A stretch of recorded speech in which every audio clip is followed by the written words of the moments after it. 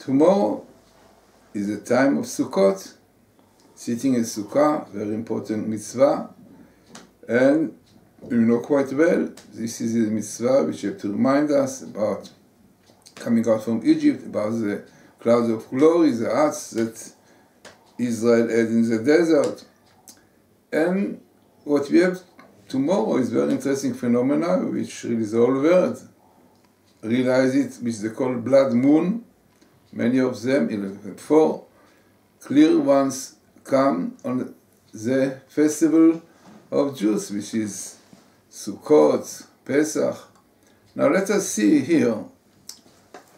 This is by the way interesting, the picture, but it's written here Likoy Yareach Adom. This is a, a red eclipse of the moon, which will be the eve of Sukkot on the 14th of Tishrei, which is the 8th of the 10th of the 14th.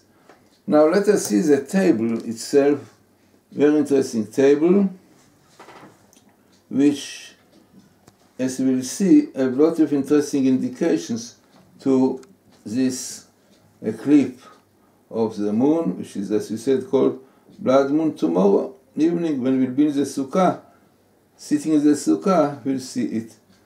Now, what we have is the following. So, this is what you see here.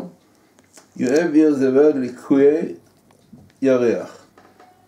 Eclipses of the moon, interesting, you have the word Adom here, so red, interesting. Likue Adom.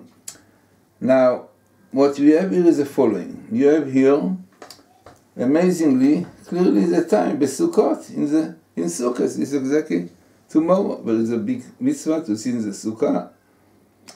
And then what you have is also very interesting. You have Mashiach twice here, the same line, every six letters. Now, number six is very meaningful number. It's the number of Yosef, of the Yesod, purity, of family life, man and woman. Amazingly, you have Mashiach, you know, one of the Mashiach, you have Mashiach ben David and ben Yosef. And here you have Bnei Yosef, amazingly, coming Bnei Yosef, Mashiach Yosef, and we have Ben Ishai also.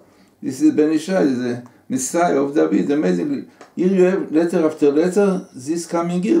In this year that we are now, Tafshin Ayin A, which is 775, which is a year very, very suitable, appropriate for Mashiach, as we saw. And it all depends on Shuvah. You can see clearly the word Teshuvah. Repentance coming here also very important condition for Mashiach is keeping the Shabbos, which is written here, B'yom HaShabbat, Shabbat Kodesh, Yom HaShvi, the seventh day, is Shabbat Kodesh, the holy Shabbat, you should keep it, and in this merit, you will have also redemption Mashiach. So as we said, very interesting table, as we have really very significant here, exactly Sukkot coming here with the moon eclipse, you have Shir Yosef, and you have Adom, red by the way, also indicated to the moon being red. And as we say, Mashiach, Ben Ishai, Ben Yosef, and repentance, which is the most important. So really, let us hope that this what will happen. And as we said, this year is very significant, important year, lot of indications that we'll merit, we'll have to do tshuva, repentance, Mashiach will come. And as the eclipse of the moon being exactly on this Mass, that means really this festival, which is very important festival, we said that also is a time that can be Gog and Magog also. So very significant time altogether, and year, as we said, is very important, 775, which is really a time of Messiah. If we keep Shabbat, we keep purity of life and uh, everything has to do with the Torah, keeping the commandments, and then we'll have of this this year, Mashiach will come and redeem us from all our troubles.